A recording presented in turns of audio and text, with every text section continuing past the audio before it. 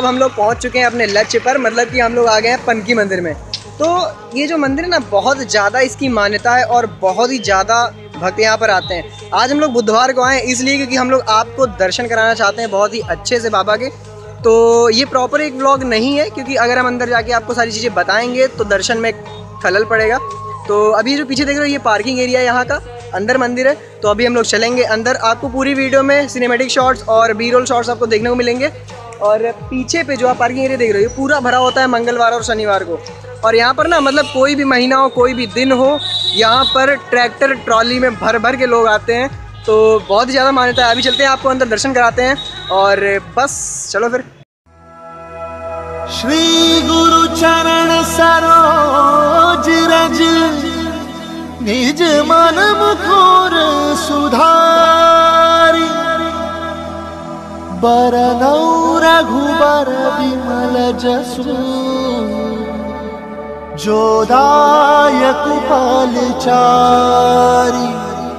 तो भाई साहब, देखो, अभी हम लोग आ चुके पनकी मंदिर अंदर। मतलब ये जो है आपका मेन गेट है, जहाँ से आप लोग एंट्री लोगे। और मंगलवार को, इसलिए हम नहीं आए, क्योंकि बहुत ज़्यादा भीड़ होती है। आपको हम दर्शन ना करवा पाते प्रॉपरली तो अभी जाते हैं अंदर अंदर देखेंगे कैसा क्या है। और इधर पे देखो, बहुत लंबी लंबी सी मार्केट है, इधर पे है गैलरीज बनी हुई है आगे आगे पे। तो उधर पे बहुत लंबी मार्केट लगती है। और आपको जो भी सामान चाहिए, यहाँ पर हर चीज़ आपको मिल जाएगी, पूजा का या फिर जो भी मेले वेले का सामान होता है, सब कुछ आपको मिल जाएगा।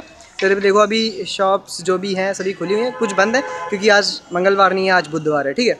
तो अभी चलते हैं आपको अंदर सिनेमेटिक शॉट्स और बी रोल शॉट्स आपको दिखाएँगे अंदर, और बस मज़ा लो दर्शन का।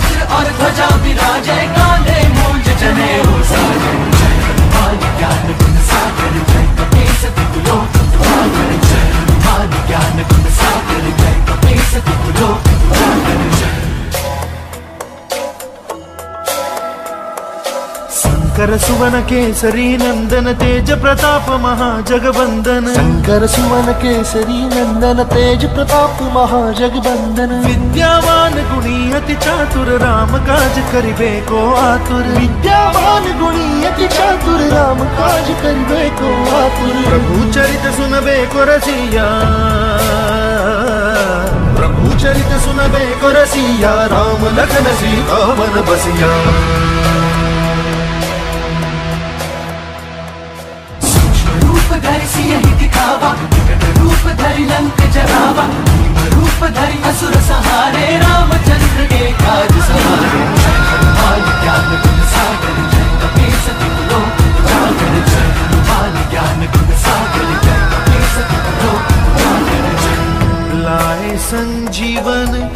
लखन जियाए, श्री रघुवीर हरषि पुरनाए रघुपति की बहुत बड़ाई, तुम मम प्रिय भरत ही समभाई सहस बदन तुम्हारो यश गावे, अस कही श्रीपति कंठ लगावे।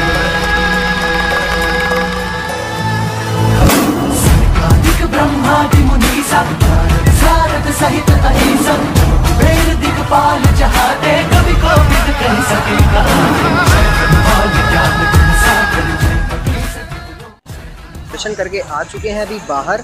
और अब ये मंदिर बहुत ही अच्छा है, जैसा कि आप लोगों ने अभी दर्शन कर लिए हैं बाबा जी के।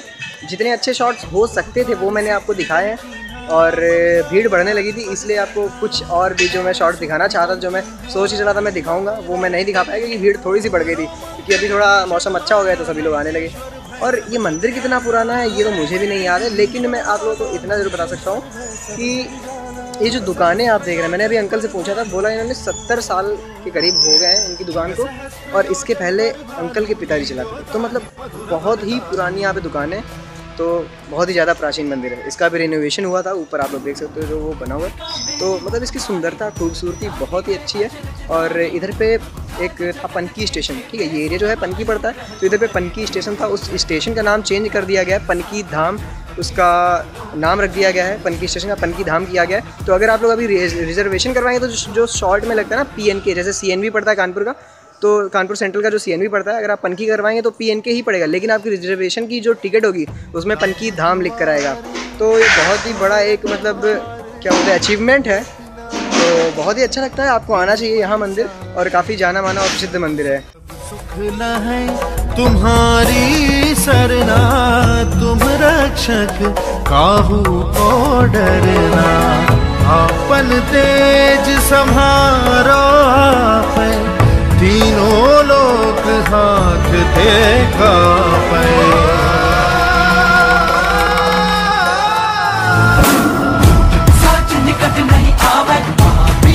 नाम हरे, सब पीरा, जपत निरंतर भगवत पीरा जय हनुमान